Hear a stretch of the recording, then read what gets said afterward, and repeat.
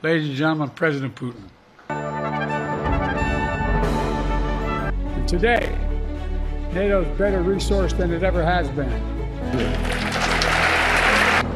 I'm pleased to award you the highest civilian honor the United States can bestow, the Presidential Medal of Freedom. And now I want to hand it over to the President of Ukraine, who has as much courage as he has determination. Ladies and gentlemen, President Putin. President Putin. He's going to beat President Putin. President Zelensky. Especially with our full collective support. Ladies and gentlemen, President Putin. President Putin.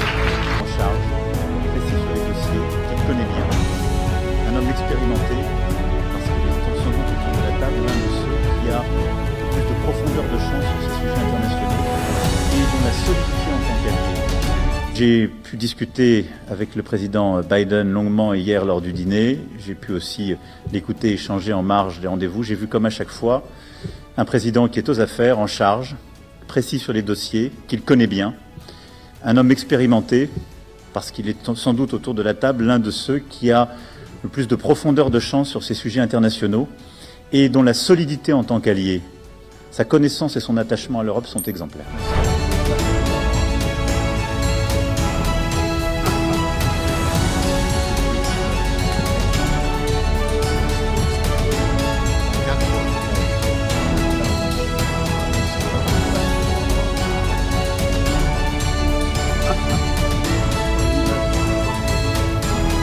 Strong president who is acting in the international scene.